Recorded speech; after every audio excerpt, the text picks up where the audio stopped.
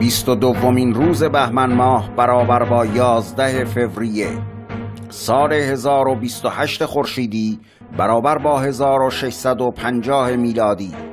در گذشت رن دکارت فیلسوف و ریاضیدان فرانسوی که پس از طی تحصیلات مقدماتی به فراگیری علوم ریاضی و طب مشغول شد و پس از چندی وارد خدمت نظام گردید. دکارت به زودی از زندگی نظامی خسته شد و در 24 سالگی آن را رها نمود. وی در این زمان تصمیم گرفت که در زندگی هیچ سوالی را بی جواب نگذارد و درباره مسائل تفکر کند. از این رو به ریاضیات و هندسه روی آورد و توانست قانون انکسار یا شکست نور را کشف کند. دکارت سپس خود را وقف مطالعه در فلسفه کرد. از کشوری به کشور دیگر رفت کتاب ها خواند و یادداشت های بسیار برداشت تا آنکه در ابتدا رساله فلسفی جهان را نگاشت. ولی چون پس از اتمام آن از محکومیت گالیله در ایتالیا اطلاع یافت احتیاط کرد و از نشر آن احتراز نمود. اما آنچه نخست سبب شهرت وی گردید مجموعه رساله های مشتمل بر تفکرات فلسفی بود. فلسفه او سیری بود از شک کامل به ایمان کامل. علاوه بر این نوع ریاضیات عمومی به وجود آورد که حساب و جبر و هندسه در آن دارای نقش بیشتری باشند.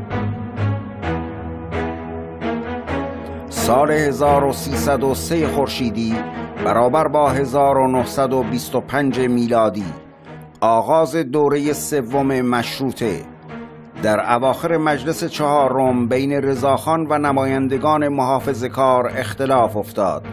لاجرم رضاخان با استفاده از قدرتش اکثریت مؤثری برای احزاب تجدد و سوسیالیست در مجلس جدید به دست آورد. اکثریت جدید مجلس به رضاخان که اکنون دیگر نخست وزیر شده بود رأی اعتماد دادند. لایحه نظام وظیفه اجباری را تصویب و بودجه دربار را قطع کرد. القاب اشرافی چون از دوله از سلطنه و الممالک را لغو کرد و کلیه مردم را ملزم ساخت شناسنامه بگیرند و نام خانوادگی اختیار کنند. مجلس پنجم همچنین به مذاکره با شرکت استاندارد اویل نیویورک خاتمه داد.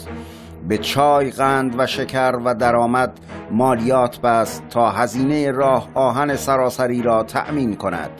مقیاس واحدی برای وزن و اندازه در کشور تعیین کرد و تقویم تقویم هجری خورشیدی را به جای تقویم قدیمی اسلامی قرار داد و عنوان فرمانده کل قوا را که طبق قانون اساسی مشروطه در صلاحیت شاه بود به وزیر جنگ اعطا کرد. سال 1357 خورشیدی برابر با 1979 میلادی روی کار آمدن انقلاب اسلامی در ایران.